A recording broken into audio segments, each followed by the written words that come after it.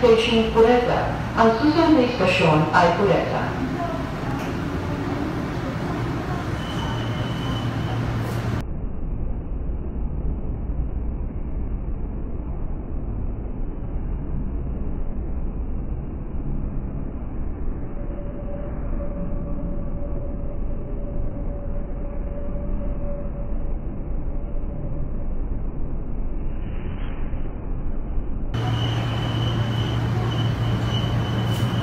Station Pureta. Ang susunod na istasyon ay Pureta.